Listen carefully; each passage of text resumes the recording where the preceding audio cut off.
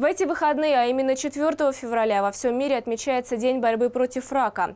Эту дату провозгласил Международный союз по борьбе с онкологическими заболеваниями. Она призвана повысить осведомленность общества о раке, привлечь внимание к способам предотвращения, выявления и лечения этого недуга.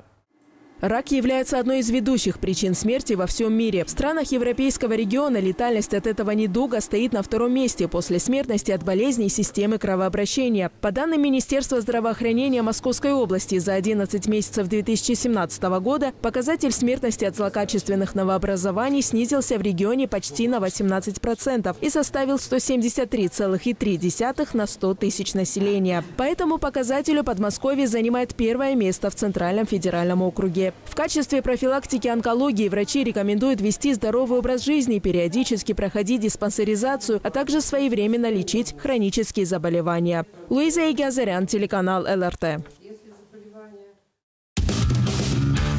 Привет! Вы смотрите ЛРТ, а я Мария Лапчева. Подписывайтесь на наш канал на YouTube, ставьте лайки и будьте в курсе самых актуальных событий.